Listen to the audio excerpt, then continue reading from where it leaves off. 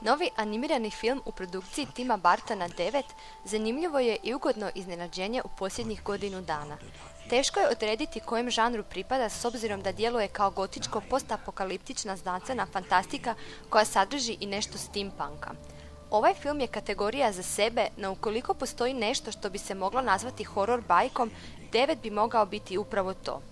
Film može ravnopravno stajati uz bok klasičnim bajkama braće Grimm, jer atmosfera uistinu nalikuje bajkama folklora iz okolice Schwarzwalda, te je pravo zadovoljstvo vidjeti kako priča savršeno balansira između napetosti i jeze. Ovaj film se, baš kao i mnogi drugi filmovi Tima Bartona, bavi pitanjem duše i života, što i nije neka posebna novost. Ali je način na koji je priča ispričana ono najbolje, s obzirom da dugo nismo vidjeli film bez crno-bijelih protagonista. Svaki lik ima neku pozadinu ili razlog za svoje ponašanje što otkrivamo kako radnja napreduje. Upozorenje. Ukoliko očekujete crtani film za djecu, možda biste trebali razmisliti prije nego što ih povedete sa sobom u kino. U filmu prevladava mračan i depresivan ambijent, a tema je, iako predstavljena na zanimljiv i jednostavan način, sve samo nepovršna. Također, film obiluje mnogim detaljima koji će zadovoljiti obožavatelje onog znanstvenog dijela žanra fantastike. U svakom slučaju riječ je o vrlo dobrom i zanimljivom spoju neoko teško povezivih žanrova. Slatko i simpatično, a ujedno jezovito i depresivno. Svakako preporučamo.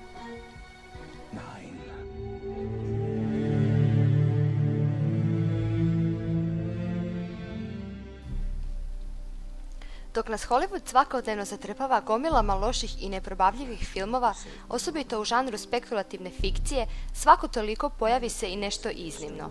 The Hunt for Gollum, kratki 39-minutni film u produkciji Independent Online Cinema, jedan je od takvih pisara. Napravljen uz pomoć talentiranih volontera i entuzijasta uz skromni budžet od 5000 dolara, ovaj film je živi dokaz da još ima ljudi koji su u stanju napraviti zanimljivo filmsko ostvarenje. Zamišljeno kao dopuna trilogije Petera Jacksona, The Hunt for Gollum prati Aragorna u njegovom lovu na Goluma, što je dio priče koji se samo kratko spominje i u knjizi i u filmu.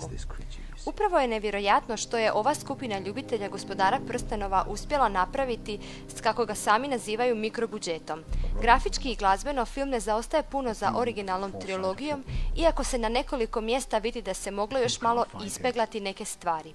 Također, možda se malo previše inzistiralo na scenama borbe koje se pojavljaju svakih 10 do 15 minuta, a nedostaje im ona profesionalna koreografija da bi izgledale potpuno uvjerljivo, no to su sitnice. U zaključku možemo reći da nas je The Hunt for Gollum apsolutno oduševio, te da nam je žao što tako kratko traje. U svu dobru volju nismo mogli naći nikoga tko bi bio voljan pogledati ovaj film u svrhu pisanja recenzije, tako da ćete se morati osloniti na vlastitu prosudbu.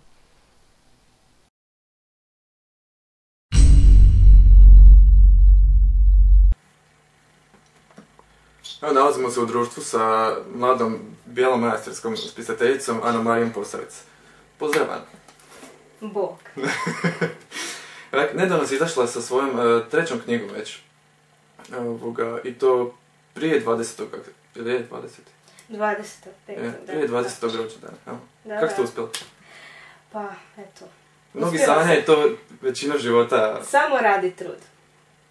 To je to radi, trud, malo inspiracije, mašte, glazbe. Kad se to sve spoji, onda se dobije jedna cijelina i možeš stvarat, pisat.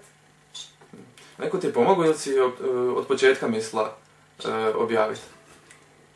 Kako se došlo do, pa, došlo, do objavljivanja? One prve priče koje sam pisala, koje, za koje ja smatram da su vrijedne samo meni, to neće izaći nikada.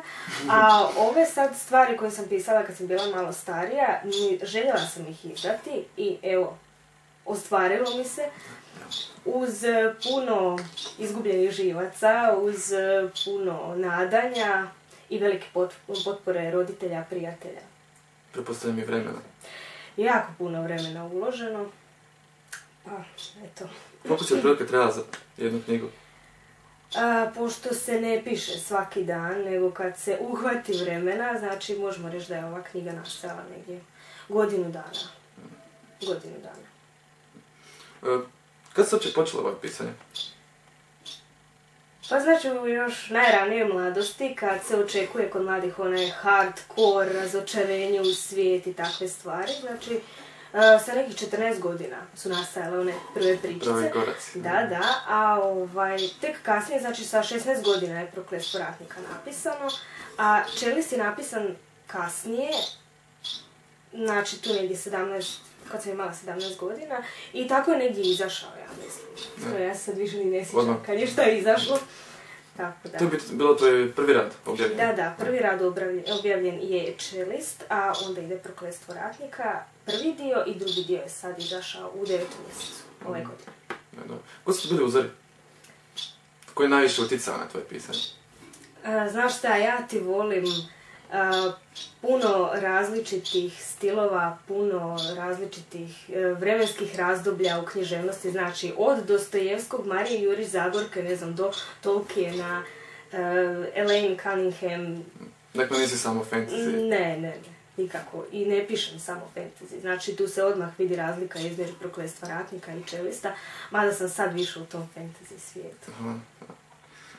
Planiraš možda još e, preskočiti koji žanr? Ima nešto šta, e, ovisi o inspiraciji. Ja sam već jednu knjigu napisala, tako da, znači, tu je četvrta. Možda će i prokletstvo ratnika dobiti svoj treći nastavak, pa će biti trilogija, a sve ovisi zapravo kako me pukne. Naravno. Pa da. E, Zapravo već si rekla nešto što sam te htio pitat, stil pisanja. Pišeš svaki dan, imaš određeno vrijeme za pisanje, e, posebno mjesto, ne znam, posebne olovke. E, inače ja pišem dosta na kompjuteru, možda jedino pravim neke natuknice da se ne zaboravi, ali imam jako puno priča, jako puno likova u glavi koji jednostavno onak zovu da ja njih stvorim i oni neće izaći iz moje glave dok ja njih ne načinim, ne napravim, ne oblikujem po šabloni po kojoj oni moraju biti, jel? Tako da... em, U biti da se smiriš, moraš pa, izbaciti e, sebe. Da, zapravo. Da, tako je Čelis nastao. Rješavanje Znači- demona. Unutrašnjih nekih, da. da, Čelisti je zapravo takav, dok ovdje u Prokletstvu ratnika ima jako puno likova i različitih karaktera. Ja sam to sve nekako zapetljala, da sam se zamislila kad je trebalo napraviti kraj ono, Da. ajde sad, jedan po jedan idemo otpetljavati čvor. Tako da, Nešto kao Gata Kristi sa svojim prvim. pa ne znam, baš evo, ne mogu se ja baš sad mjeriti sa takvim imenima još, nisam baš Još smo i skromni. Ne, dobro. skromnost je vrlina. Ovoga, što se tiče samih likova u knjigama, e, puno pisaca zapravo temelji posebno glavne likove, a dosta često i e, sporedne, na prvenstveno sebi, svojim bližnjima, prijateljima i tako dalje. Činiš li to i ti ili? Zna se dogoditi nekad, ali a, vidiš, e, svi su u zabludi jer ne mora ovaj, biti da se stvara lik po uzoru na nekoga. E, Zna se događati, znači da ti uzmeš e, lika i preslikavaš jel, lika iz stvarnosti i realnosti u neki fantasy svijet. Međutim, ne mora to uopće biti, znači ja sam sad u novoj knjizi opet stvarala lika, osobu koja ima sve mane, zapravo koje ima, dakle, jedan zao čovjek, što ja ne volim. I dogodilo se to da sam ja tog lika zavoljala.